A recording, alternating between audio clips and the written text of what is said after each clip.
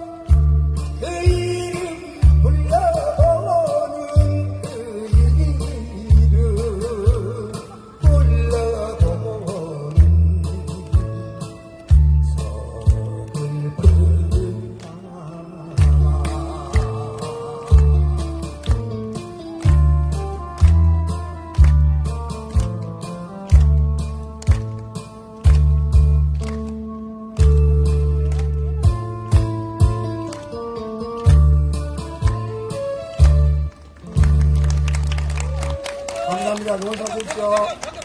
네. 아, 아직 발매가 되는 대로 또 들려주신다고 합니다.